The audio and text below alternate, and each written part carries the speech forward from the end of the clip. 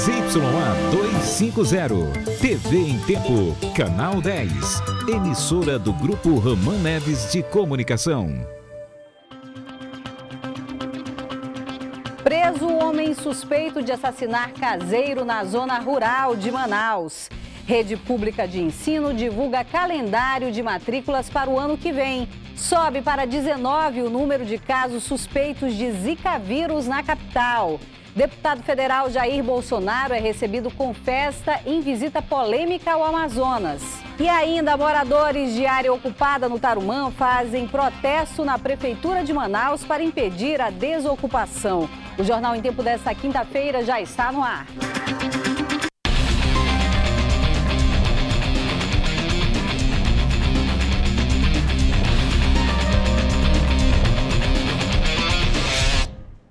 Boa noite. A Polícia Civil prendeu o homem que ficou conhecido como assassino cruel na zona rural de Manaus. Ele matou um caseiro e enterrou o corpo com a ajuda dos cunhados. O homem era conhecido como Miguel, trabalhava em um sítio no ramal do Pau Rosa, na BR-174, e foi morto com dois tiros e apauladas. O crime aconteceu em março deste ano. O Miguel teria mexido com a, com a namorada dele, entendeu? E aí, por conta disso, ele ficou bravo e resolveu tirar a vida é, do Miguel. Armaram uma emboscada, né? Armaram uma emboscada, os três armados de espingarda, calibre 28, e na hora que o Miguel, vítima, passou pelo local, ele foi alvejado com os disparos de arma de fogo. O Jano, o Jano dá tanto detalhe que ele fala que na hora que ele foi atingir a vítima, a espingarda dele falhou, ocasião em que ele se valeu de um pedaço de pau e matou uh, o Miguel a pauladas e enterrou ali próximo com a ajuda da, das outras duas pessoas. Os cunhados eram José Raimundo Moreira e um adolescente de 17 anos. Os dois já tinham se envolvido em um duplo homicídio no mesmo ramal. Eles mataram um casal. Jânio foi preso em uma loja de materiais de construção na Zona Norte, onde trabalhava como serviços gerais. Ele foi indiciado por homicídio qualificado e ocultação de cadáver. Outro caso de repercussão movimentou a delegacia de homicídios hoje. O suspeito de matar Roseli de Castro Marinho, de 41 anos, e o filho Matheus Marinho Martins, de 17, no último domingo, na Compensa 2,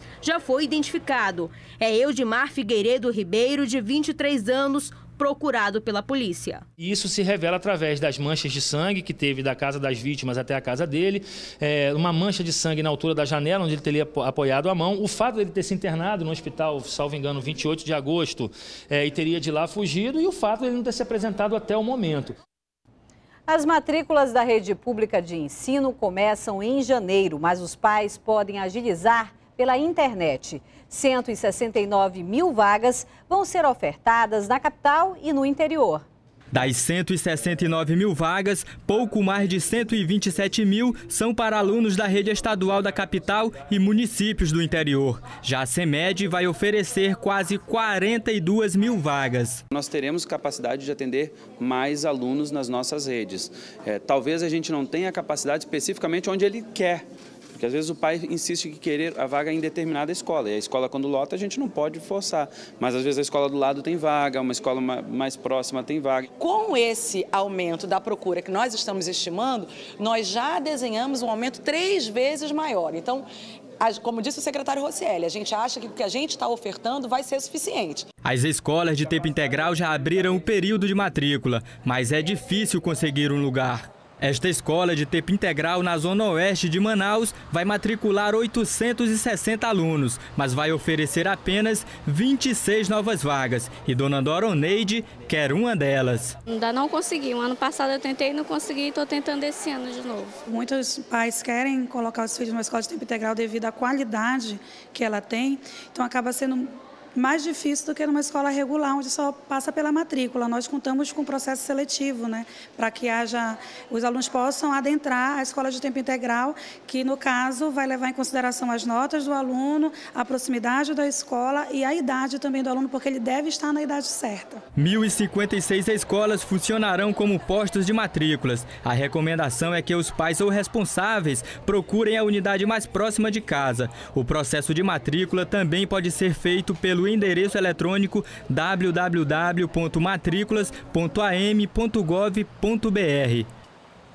Um lavador de carros foi executado com pelo menos três tiros no fim da manhã de hoje. Foi na Avenida Brasil, Compensa, zona oeste da capital.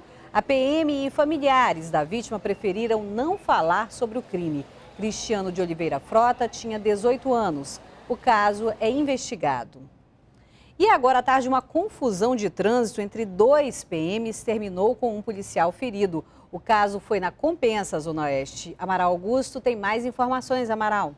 Exatamente. Toda esta área aqui da Rua Erma, no conjunto residencial Parque Aruanã, foi interditada para a realização do trabalho de perícia. As informações que nós temos, segundo a oitava companhia comunitária, é de que o capitão Jackson Gama, da oitava companhia, o capitão que é comandante da oitava companhia interativa comunitária aqui da Compensa, zona oeste da capital, teve o carro seguido logo depois de um desentendimento de trânsito. O carro dele foi fechado e logo depois um homem saiu do veículo, sacou uma arma e tentou atirar no capitão, que revidou, ferindo o, o autor do primeiro disparo, só que a arma havia falhado. Nesse momento foi acionado o SAMU, segundo a ocorrência, e logo depois foi verificado que o homem que tentou ferir o capitão era um PM lotado na Secretaria de Segurança Pública do Estado do Amazonas. Neste momento também a corregedoria da SSP está aqui fazendo a apuração, assim como a Diretoria de Justiça e Disciplina da Polícia Militar, que já está estão apurando todo este caso. Amaral Augusto para o Jornal em Tempo. E subiu para 19 o número de casos suspeitos de Zika vírus aqui em Manaus. A repórter Laila Pereira tem as informações. Laila. Marcela, segundo a Fundação de Vigilância em Saúde, os casos suspeitos foram registrados em todas as zonas da cidade. Dos 19, dois são de grávidas. Apenas um caso já foi confirmado. Amostras de todos os pacientes foram coletadas. O prazo realmente de saída é em torno de sete dias. Acredito que na próxima semana nós já teremos a confirmação ou descarte desses casos suspeitos. De acordo com o último levantamento, Manaus apresenta médio risco para a transmissão. Por isso, o governo anunciou uma força-tarefa para combater o mosquito Aedes aegypti, transmissor da dengue, chikungunya e zika vírus. Quem apresentar sintomas como febre, dores nas articulações e manchas vermelhas na pele deve procurar uma unidade básica de saúde. Laila Pereira para o Jornal em Tempo. E o polêmico deputado federal Jair Bolsonaro teve uma recepção calorosa no aeroporto de Manaus e homenagem na Assembleia. E também conversou com a imprensa em uma entrevista coletiva. A repórter Priscila Gama acompanhou. Priscila. É isso mesmo. O parlamentar Bolsonaro chegou em Manaus às 11 da manhã dessa quinta-feira e foi bem recebido por um grupo de militantes. Durante a coletiva à imprensa, ele falou que se considera como o defensor dos direitos da família tradicional. Ele explicou o motivo de defender a liberação do armamento, tirar direitos dos presidiários e também comentou sobre o projeto que tramita na Câmara que prevê que, além do voto ser eletrônico, seja impresso para evitar que haja fraudes, né? Ele também adiantou que pretende mudar do Partido Progressista para o PSC, Partido Socialista Cristão, para poder encabeçar a chapa na corrida presidencial nas eleições de 2018. O vagabundo hoje em dia não se contenta mais em roubar teu patrimônio, quer esculachar você, tua esposa, teu filho. Tá okay? E ele tem que saber que ao forçar a barra, querer entrar numa propriedade privada, ele vai ser recebido com uma bala tem que ser assim. Os Estados Unidos só não tem arma, só não tem fuzil quem não quer. O cara tem que entender que uma vez preso, o direito que ele tem é não ter direito. O deputado ficou em evidência nos últimos meses como homofóbico e preconceituoso por ser radical em alguns pontos, quando disse que o erro da ditadura foi torturar e não matar. Quando ele disse que seria incapaz de amar um filho homossexual, o que também fez com que a Comissão de Direitos Humanos da OAB do Amazonas enviasse uma nota de repúdio à entrega da Comenda Ordem do Mérito Legislativo do Amazonas, que vai ser entregue pelo deputado estadual Platini Soares na Assembleia Assembleia Legislativa do Estado. A OAB ela deve cuidar de valorizar o seu advogado, de acabar com os coiotes que prejudicam o exercício regular da profissão. Ela tem que buscar engrandecer as prerrogativas da advocacia e não está se metendo numa, numa escolha individual de um deputado. Nessa sexta-feira, o parlamentar Bolsonaro vai visitar o Batalhão de Operações Ribeirinhas e escolas, além de palestras que vão ser realizadas sobre a atual conjuntura política do Congresso Nacional. Priscila Gama, para o Jornal em Tempo. Os urbanitários fizeram hoje um ato público contra a privatização da Eletrobras.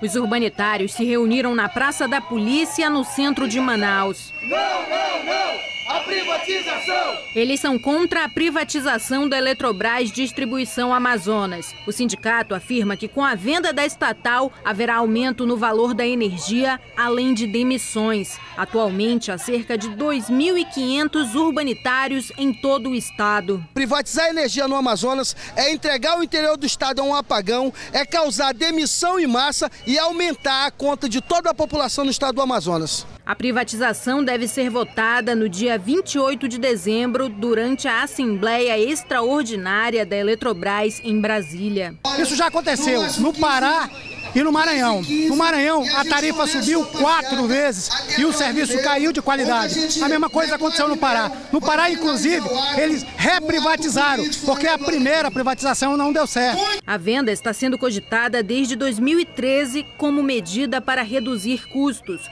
O ato teve apoio de pelo menos outras seis categorias, entre elas o Sindicato dos Professores. Achamos que é uma causa justa, é uma luta democrática, é em defesa e contra a privatização da Manaus Energia, da Eletrobras. Outros protestos estão programados para as próximas semanas. Os moradores da comunidade Cidade das Luzes, que fica no Tarumã, no oeste de Manaus, fizeram um protesto hoje em frente à prefeitura. Eles querem evitar a desocupação que foi adiada pela segunda vez. Os moradores da comunidade querem sensibilizar as autoridades. E a gente vem apelar né, para que ele possa refletir, pensar e, quem sabe, rever a posição haja vista que as pessoas não têm, a maioria vem de outras ocupações. Nós estamos aqui reivindicando o direito de moradia. Não jogue nós para debaixo da ponte. O cumprimento da ação civil pública de demolição e remoção previsto para hoje foi cancelado pela Secretaria de Segurança Pública. Segundo a SSP, a previsão é que a desocupação aconteça nesta sexta-feira. A comunidade das Luzes foi invadida há dois anos e meio. O local possui 61 mil metros quadrados Cerca de 1.400 famílias vivem no local. E os funcionários da Fundação Secom também protestaram hoje. Entre as reivindicações está o pagamento do ticket de alimentação. Funcionários, servidores terceirizados e pacientes da Fundação fizeram um abraço simbólico. Com cartazes, eles pediam o pagamento do auxílio alimentação, que, segundo eles, está atrasado há dois meses. Dois meses foi retirada da gente sem, sem nenhuma explicação. A segunda, a gente fica sabendo que não foi uma, uma explicação é, oficial do, do, diretor é que foi suspenso, que não, não tem um retorno. Segundo os manifestantes, os salários, tanto dos terceirizados quanto dos servidores contratados, estão atrasados. O nosso EPI, que é, um, que é, que é de fundamental para a gente fazer certos procedimentos, tem um gorro, às vezes não tem a máscara. Tem a máscara, não tem um avental e aí fica difícil. Eles também reclamam da falta de higiene na cozinha do hospital. Em relação às condições sobre a cozinha aqui da Fundação Secom, a assessoria informou que nunca houve denúncia para a vigilância sanitária e caso haja, ela será apurada pela Fundação. Já em relação ao pagamento dos salários e do ticket alimentação, há uma liberação orçamentária que será repassada ao Estado, mas ainda não há previsão para o pagamento. Luziene é avó do pequeno Gustavo, de dois anos. Ele é de Presidente Figueiredo, tem leucemia e faz tratamento por aqui. Segundo ela, alguns exames não estão sendo realizados pela falta de funcionários. A gente está gastando dinheiro, a gente não tem, o pai dele está desempregado, o presidente Figueiredo, a gente está tirando, a gente não tem, as pessoas que estão ajudando a gente poder estar tá aqui. Chega aqui ainda não é bem, ainda não tem o tratamento necessário que ele está precisando. Já Francinilda chegou ao hospital com o marido para fazer a quimioterapia. Ela luta contra um câncer de mama há sete meses e descobriu que o medicamento quimioterápico doxorubicina está em falta. Que eu estou precisando, que estou precisando para fazer a segunda quimio e não tem esse remédio que foi falado agora, né?